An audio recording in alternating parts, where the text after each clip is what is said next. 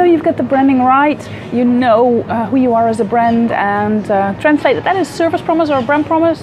You did decide at what moment in the customer journey you really wanted to deliver on these uh, uh, promises, and now it's up to daily delivery.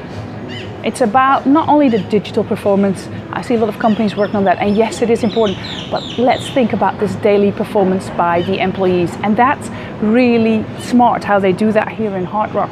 They um, have really tailored the four promises into values, and these values, um, every employee lives them. And not only that, what you will see is um, that they're wearing name tags. Uh, every employee wears a name tag. And besides that the rock star that they are a fan of.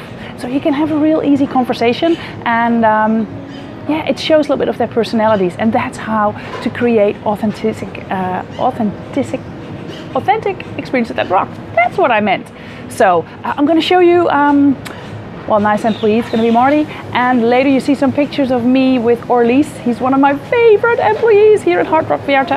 And um, I wanna um, yeah, conclude with Hard Rock ticks every box when it comes to customer experience. If you ever want to experience it yourself, you have to love music a little bit, you have to love the, the lifestyle, but it's fascinating to see it from a professional view. I loved it. Thank you very much. Gee, how are you today? Yes, how, how is it to work for Hard Rock? How is, oh, you know what? It's difficult to express it because it's a, a very nice place for you. Oh, wow. Especially when we receive nice and very kind persons like Oh, thank you very much. I'm really wondering because I really like your name tag and also you're a fan of Sam Smith.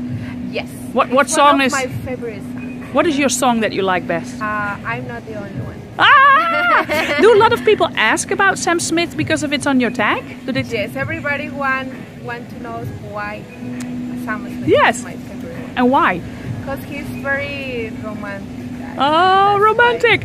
Thank you so much. I'm going to show you with all of you. Yay! Thank you so much. welcome. Have a And rock on. Yeah.